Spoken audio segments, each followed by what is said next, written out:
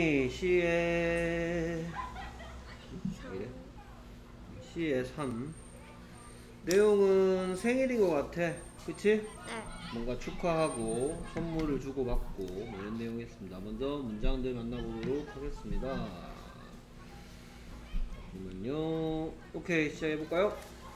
Happy birthday. Happy birthday birthday 쓰기 좀 어렵지 않았어요? 음, 아니요. 오 Happy birthday. 생일 축하한다. 오, 열심히 연습했네요. 오케이. 그 다음에 그랬더니 이제 고맙다고 해야 되겠죠? Thank you, mom. Thank you, mom. 해피 birthday라고 앞에서 말했던 사람이 엄마였나봐요. Thank you, Mom.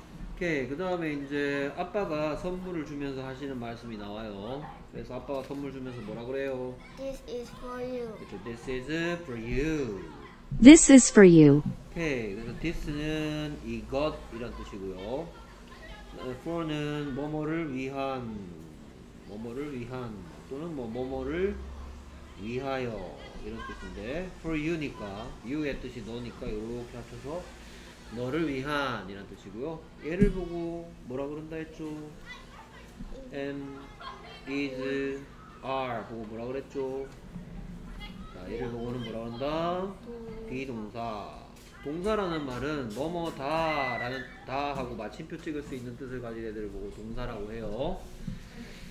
자, 그래서 am, is, are는 비동사. 원래 모습이 be이기 때문에 그래. 원래 모습이 원래 모습이 be였는데 i를 만나면 be가 m으로 바뀌고 I am 바뀌는 거고. 그 다음에 he 또는 she 또는 it을 be가 he be, she be, it be가 되는 게 아니고 be는 얘들을 만나면 he is, she is, it is가 되는 거고. 그 다음에 are는 you나 we, we는 우리란 뜻이야. You는 너란 뜻이고. 그리고 they 그들 이런 뜻이야.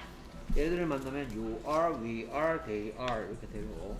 그 다음에 얘들이 가진 뜻은 두 가지가 있다 했는데 두 가지가 뭐였더라?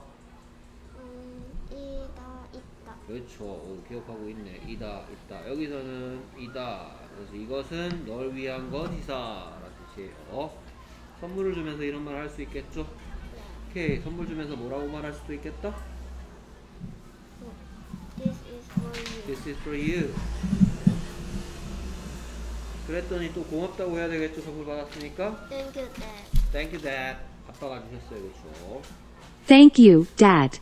오케이. 그 다음에 계속해서, 뭐 계속해서 고맙다 그러고요. 뭐 Thank you 넘어가겠습니다. 그 다음에 고맙다 그랬더니, 어, 뭐 별 말씀을, 뭐, 뭐 그런 말 안 해도 돼. 라는 뜻으로, 어, 어, you're welcome. 그렇죠. You're welcome.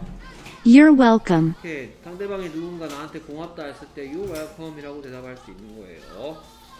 오케이. 쓰기 시험 모두 다 맞았네요. 오케이. 수고했습니다. 네. 네, job.